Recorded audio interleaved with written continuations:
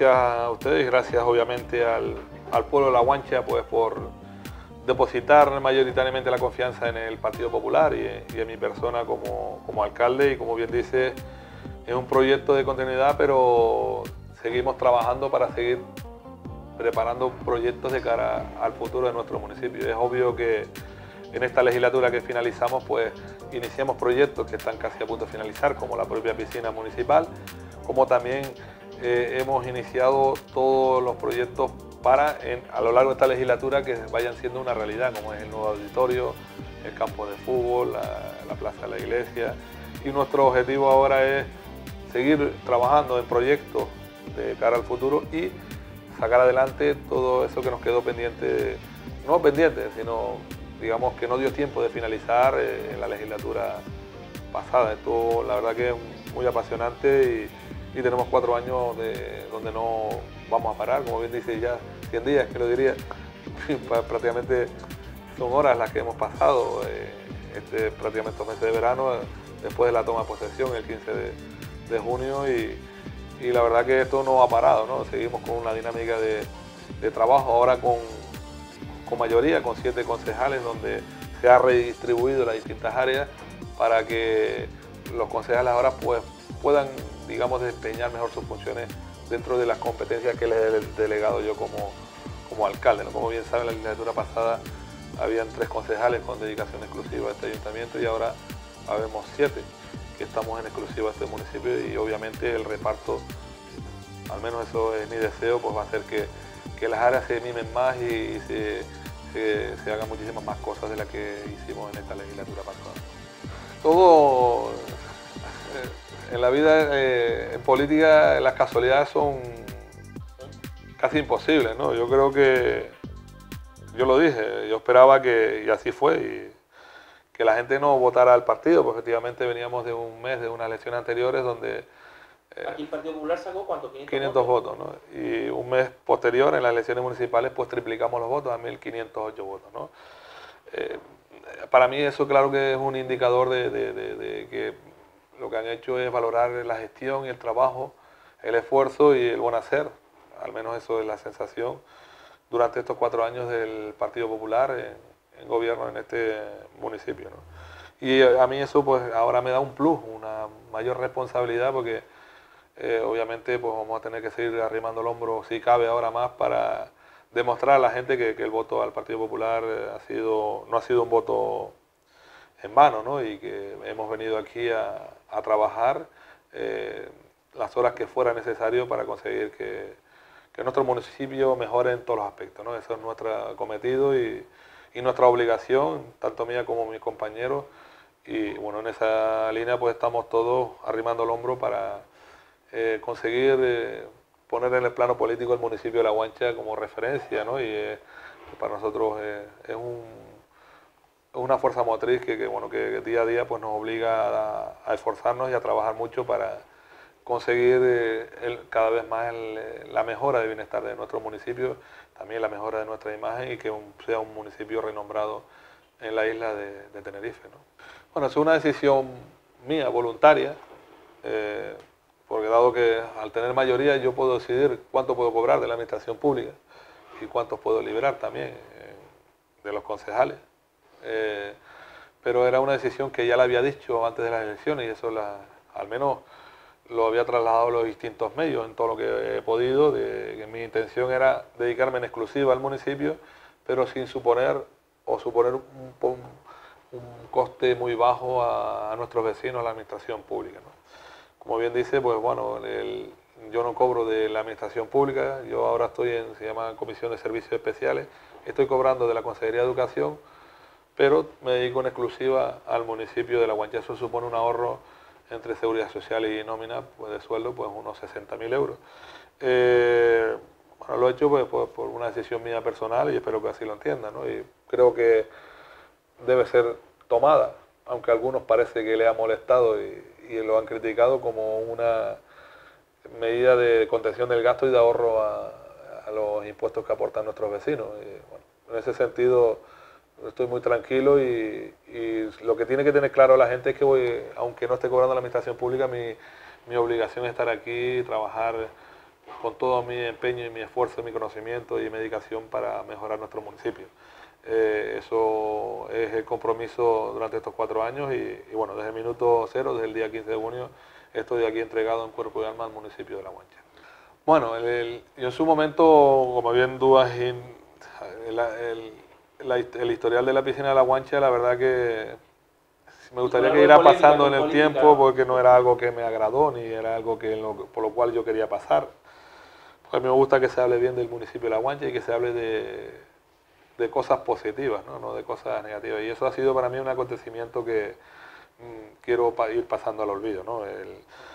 yo me opuse a ir a sacarme una foto con, con el, el, anterior presidente del Cabildo de Tenerife porque lo que pretendían era una inauguración de unas instalaciones que no estaban para inaugurar, ni mucho menos. Y el tiempo me ha ido dando la razón, al menos eso es lo que yo entiendo. Pues bueno, a día de hoy eh, puedo decir, como bien dice en la prensa, que bueno, pasará más de un año y pico para poder poner a disposición de los vecinos de esas instalaciones deportivas, que hay que decir que el día que eso se abra, la gente va, si me permite la expresión, a alucinar con el complejo deportivo que vamos a tener en el municipio de La Guancha. Es un verdadero lujo.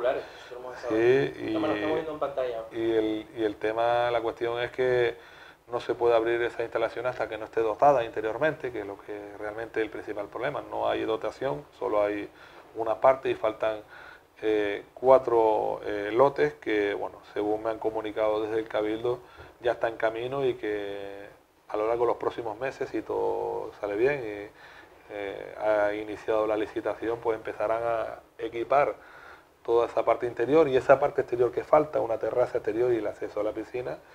Y aparte de eso también queda lo que es la urbanización exterior, que bueno, que eso ya estamos caminando en la administración pública y es voluntad, en este caso el ayuntamiento, de, llevar a cabo el proyecto, la, obra. Estamos ya, nos hemos reunido con los técnicos de Cabildo.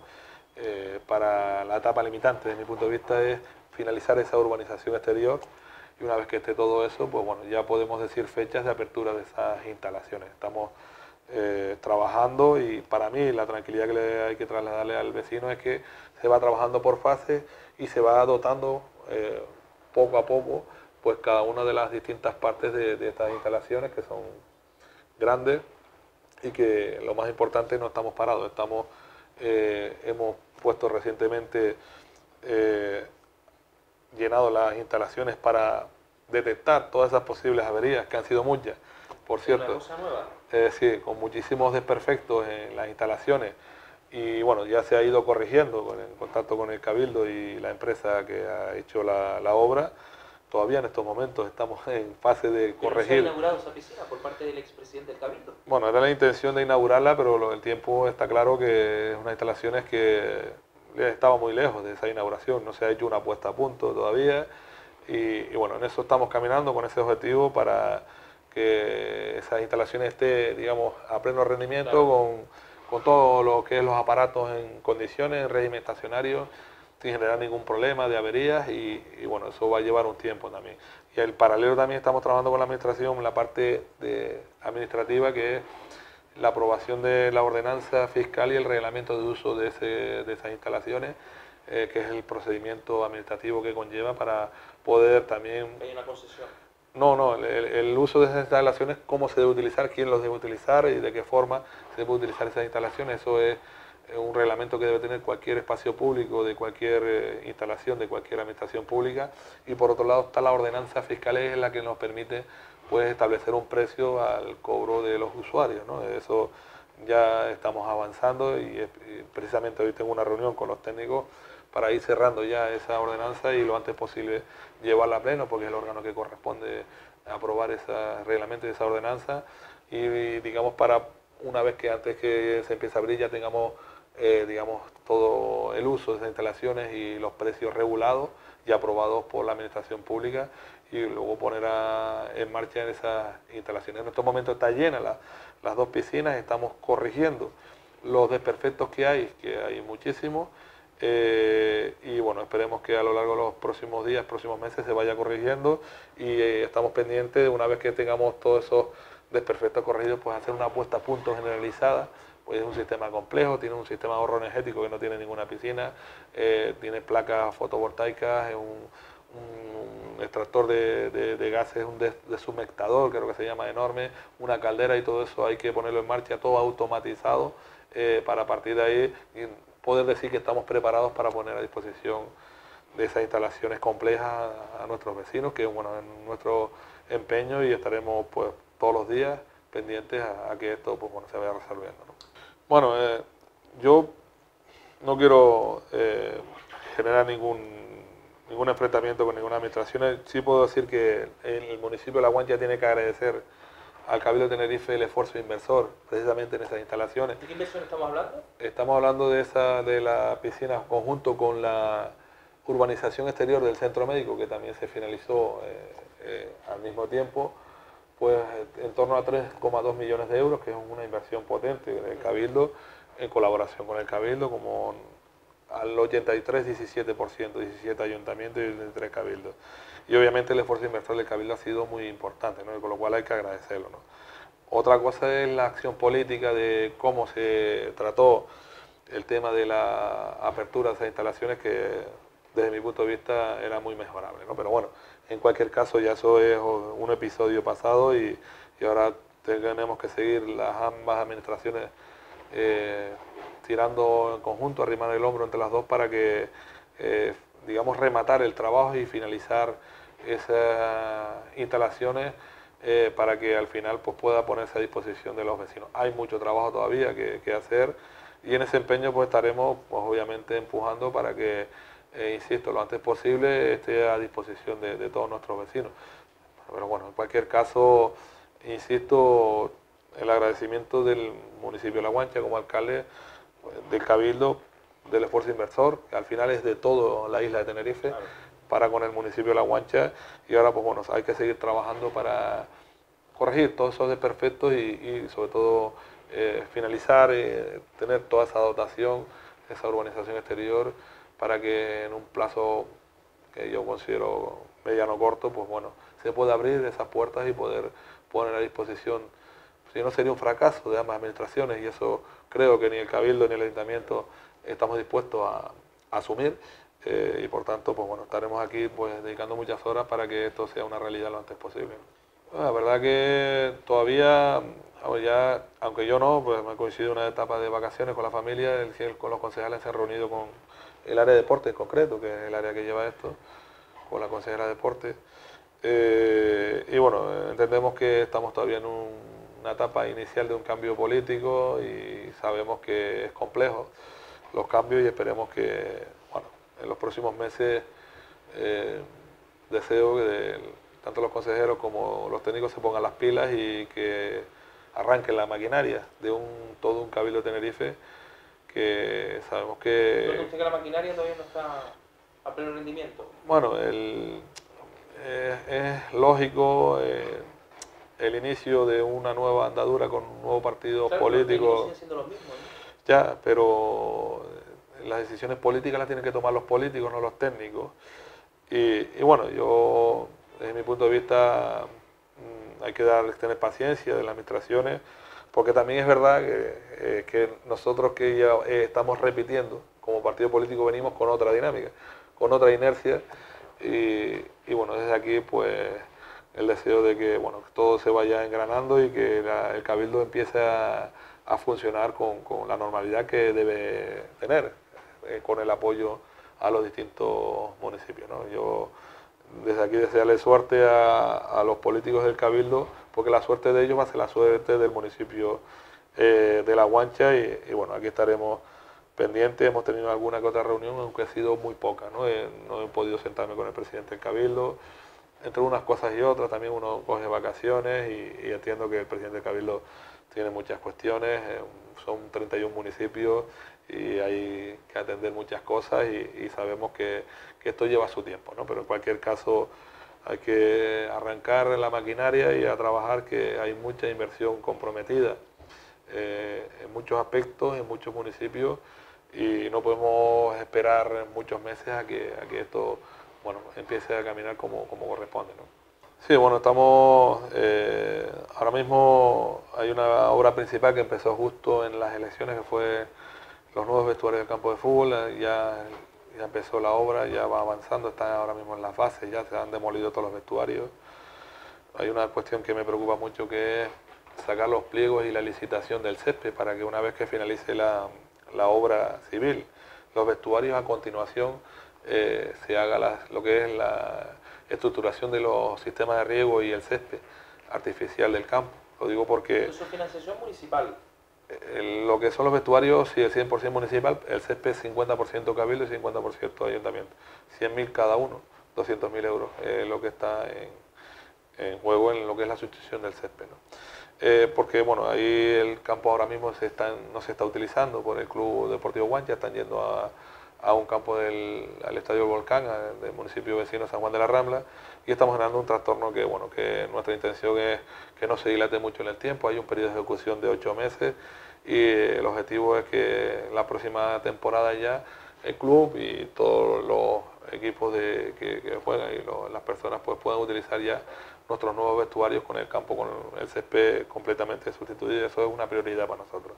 Aparte de eso también, pues bueno, ya hemos iniciado una obra que todavía no hemos hecho público, un gran parque infantil en el Colegio Infantil Tamaragua, del dependiente del Colegio Plus Ultra de la unitaria, de primaria, infantil y primaria, y hemos hecho todo este verano, pues bueno, en la colocación del, pavimento de hormigón y estamos ya tramitando a lo largo de este mes y todos estos días la compra del suelo, lo que es el contrato de lo que es la goma, estamos hablando de más de 300 metros cuadrados, que es el parque infantil de, la escuela de Tamaragua, y luego los distintos aparatos que conlleva eh, eh, ese amplio parque infantil que le hemos, nos hemos comprendido este año con, con el colegio, con la directora y bueno, a lo largo de los próximos meses, pues bueno, esperemos que sea ya lo antes posible para que nuestros niños puedan utilizar ese, ese parque infantil. Es una demanda de, bueno, de muchos años, de más de 30 años y bueno, este año lo vamos a hacer realidad. ¿Es un programa electoral?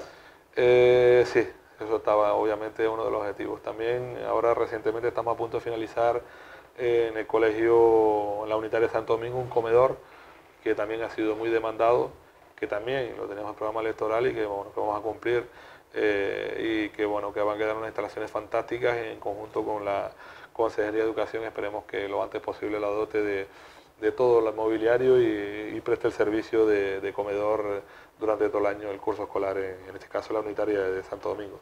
También estamos trabajando con el asfaltado de distintos callejones, como hemos hecho en los últimos años, callejones de, distintas zonas del municipio que, bueno, que han venido los vecinos a, históricamente pues bueno, quiere mejorar el acceso a, su, a sus viviendas y, que bueno, que hemos ido eh, tramitando. Y luego hay una de las cuestiones que a lo largo de los próximos meses estamos muy centrados es también, como bien te dije, es el, el trabajo administrativo de la parte de, de los pliegos y, y, también ordenanzas y reglamentos. Los pliegos para contratación de distintos, por ejemplo, vehículos, una multilink que queremos comprar para aportar al parque móvil, como también un vehículo para el centro ocupacional, una guagua de 90.000 euros, para, porque la que tenemos pues ya está obsoleta y ya no se puede utilizar para, para nuestros alumnos del centro ocupacional, como también los distintos servicios que estamos poquito a poco regulando la contratación, eh, eh, en este caso la administración pública, que bueno, como está pasando en muchísimos ayuntamientos, hasta que no se regule, pues el alcalde está haciendo levantamientos de reparos, eh, servicios como el agua, como la luz, como... Es indispensable. Sí, pero bueno, eh, una preocupación personal mía porque, eh, bueno, estoy levantando reparos, pero a sabiendas que no estoy haciendo nada ilegal. Es decir, porque el, procedimiento de contratación viene de, de hace 30, 40 años, no es un procedimiento, no se ha hecho bien y la regularización de todos esos contratos conlleva un proceso complejo de licitación a través de la plataforma, hay que sacar pliegos administrativos, pliegos técnicos, y esto es, eh, en las administraciones públicas es complejo, ¿no? Ya estamos a punto de ir aprobando varios pliegos de distintos servicios que nos están ofreciendo distintas eh, empresas. Y bueno, estos meses es muy importante pues ir poco a poco ir regulando todos esos servicios para que en la medida de lo posible pues el alcalde en la medida de lo posible levante los menos reparos posibles, aunque vamos a seguir levantando durante mucho tiempo, porque es cierto, hay muchos eh, suministros y, y- y eso pues bueno es complejo para la administración pública. ¿no? ¿Será Sí, bueno, el, el- la política de gestión de contención del gasto la vamos a seguir haciendo, ¿no? Eh, aparte que también tenemos unas limitaciones legales que hacen que, que- que, bueno, que va a ser difícil que las administraciones públicas a partir de ahora, si no cambian las leyes, pues se endeuden con, con las entidades bancarias o con proveedores. ¿Por qué? Pues bueno, tenemos una regla de gasto que hay que cumplir y la regla de gasto me, pues me limita muchísimo el gasto y si no si me paso del gasto pues nos obliga a hacer un plan de económico de saneamiento económico y financiero con lo cual nos obliga a reducir el gasto por otro lado a nosotros nos pasa no 90 pero dentro del orden de magnitud nosotros tenemos más de 3 millones de euros en la que no se que- puede gastar. no sí se pueden gastar eh, lo que pasa que la forma, para poder gastarlo te ponen un montón de, de, de restricciones Eh, Lo que no no- puedes es malgastarlo. Eh, hay determinadas, solo determinadas acciones con donde puedes gastar el dinero. A través de amortización de deuda, lo puedes gastar. Inversiones financieramente sostenibles, Que se las tienen ustedes. lo puedes gastar. Eh, eh, y la otra es, Contratación no. eh, bueno, son tres, pero bueno, básicamente amortización de deuda e inversiones financieramente sostenibles. Nosotros hemos hecho inversiones financieramente sostenibles y luego agotamos todo el dinero en amortización de deuda hasta que ya no debemos nada. ¿no? Entonces ahora lo único que nos queda es eh, inversiones financieramente sostenibles, que es lo que vamos haciendo poco a poco. ¿no? Lo del campo fútbol es a través de las figuras de inversiones financieramente sostenibles, pero es complejo porque tiene que cumplir una serie de requisitos económicos y bueno, con un montón de trabas O sea, que bueno, que de muchos ayuntamientos pues obviamente ni se lo plantean porque desde que lo que inician hasta que se, se empieza a hacer el gasto pues se pasa el año y a veces pues por eh, evitar riesgos de poner eh, en riesgo la regla de gastos pues ni, lo terminan haciendo. ¿no? Eh, al final son restricciones que esperamos que con el paso del tiempo pues sobre todo a municipios como los nuestros pues abran en cierto modo el abanico para que flexibilicen el, uso de ese remanente y lo podamos gastar en, en otras cosas, porque al final es dinero nuestro y, y- por el motivo que fuera, no es que lo tenga, es que se va a ir acumulando, sino que en la regla de gasto, para el próximo año pasaremos de en vez de tres a tener cuatro y ayuntamiento acumulando. es una entidad de ahorro, no, ese dinero ahí en la caja no. Pero el problema son las limitaciones legales, en lo, sobre todo el- el- la dificultad está en la regla de gasto, el por qué se incrementa el, el remanente. Todos los ayuntamientos están re- incrementando, a no ser aquel que tenga un remanente muy negativo, pero se va a ir eh, siendo cada vez menos negativo, con lo cual se va incrementando. ¿Por qué? Porque el gasto es mucho menos que el- lo que se incrementa, lo que se, lo que te permiten gastar de más es muy inferior a lo que te viene de más. Sí. Es decir, te va a venir mucho más dinero del que tú vas a poder gastar y con lo cual no lo vas a poder gastar. O gastarlo y luego que te obliguen a, a tomar medidas drásticas que no te gusten. Es al final lo que no queremos hacer. Como reducir el capítulo 1, como eh, reducir gastos, otros gastos que no son competencia directa de los ayuntamientos, porque está pasando y no es lo que queremos. Con lo cual estamos ahí en un, en un problema donde, por desgracia, bueno, lo que está pasando es que la mayor parte de los ayuntamientos le está imen- aumentando el remanente. Nosotros también nos ha ido aumentando, pero insisto, hemos hecho un esfuerzo importante para a través de inversiones y a través de amortización de deuda, pues ese remanente no crezca tanto. ¿no? Pues al final es dinero que tienes ahí, pero te cuesta mucho, mucho gastarlo. 6 millones, ahora ya precisamente la próxima semana ya no estamos empezar a reunir el grupo de gobierno para trabajar el presupuesto del 2020 y estimo yo sobre 6,2 millones de euros. Eh, El bueno, capítulo 1 no se va mucho aquí, ¿no? En la guancha. bueno, ahí el capítulo 1 de forma paulatina ha ido descendiendo en estos años, como en todos los municipios, porque no te dejan contratar, eh, no puedes contratar personal, con lo cual lo que está pasando, eso es otro problema, ¿no? Lo que está pasando es que se está adelgazando el- la administración en personal. Eh, ahora mismo estamos, yo estimo este año que esté por debajo del 45% y llego a estar en el 70%. Eh, ni un extremo ni el otro, ni el 70, ni tampoco no poder contratar, o por ejemplo, no tener que estar levantando un reparo para contratar un fontanero porque no tengo, o levantar un reparo para contratar una mujer de limpieza porque tampoco tengo, o albañiles que tampoco tengo. Entonces, creo que a partir de estos, estos cuatro años, la FECAN tiene que liderar un proceso de, de auxilio. Digo auxilio porque está pasando a los ayuntamientos, sobre todo a los pequeños, de, de flexibilización de la contratación para poder seguir garantizando los servicios, porque si esto no es así, ya lo adelanto, va a ser, vamos a tener serios problemas las administraciones en garantizar los servicios públicos a los vecinos. ¿no? Pues si no tenemos personal, eh, no nos dejan contratar, pues los servicios siguen estando y, en cambio la gente se va jubilando, eh, pero no vamos reponiendo a, a, todas esas personas que se han jubilado. En esos cuatro años se nos han jubilado unas 10 personas aproximadamente y no las hemos repuesto, porque no nos dejan, no nos dejan eh, reponer. Eh, yo espero que esto se cambie, porque si no esto se va a hacer insostenible, ¿no? el nivel de tensión al que estamos sometiendo a los trabajadores es alto, porque obviamente el mismo trabajo lo tienen que hacer menos trabajadores, y el nivel de tensión al que se está sometiendo también la clase política también es alto, con lo cual eh, esto se está convirtiendo en un deporte de riesgo y, difícil para gestionar y esperemos que ahora que vienen elecciones nuevas y espero que haya un gobierno eh, a nivel nacional, pues bueno, que dejen de aficiarnos más a los ayuntamientos, sobre todo a los ayuntamientos pequeños, porque si no esto se va a convertir en una situación insostenible y garantizar los servicios públicos, si no hay personal, va a ser muy difícil.